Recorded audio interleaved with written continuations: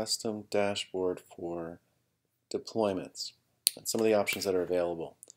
Um, there are default built-in ones that we include in Harness for uh, deployments and for services, but you can also create your own. These are down here in dashboards.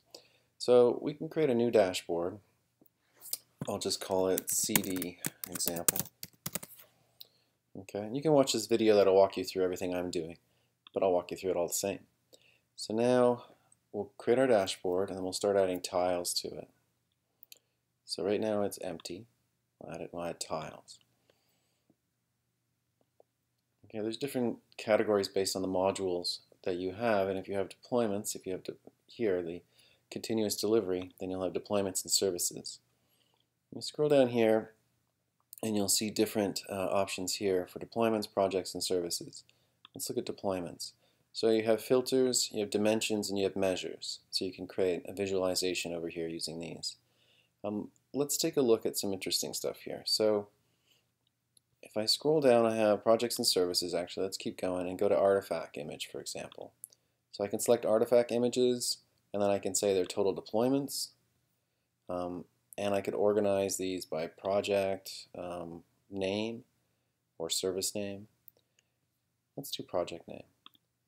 So you put those three things in there. Unfortunately, I don't have a lot of data in this account uh, currently. I haven't done a lot of deployments in it, but it will show you that these things can be graphed quite simply.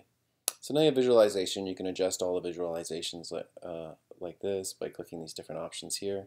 Um, and then you can remove things as well, like perhaps I don't really want product uh, project name. So I can just take that and remove it, and then run it again.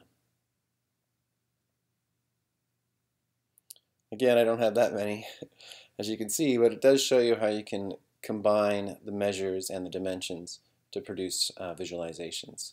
And then when you're done, let me run it one more time. And then you're done. You can save it, and now it's a tile that you can then name.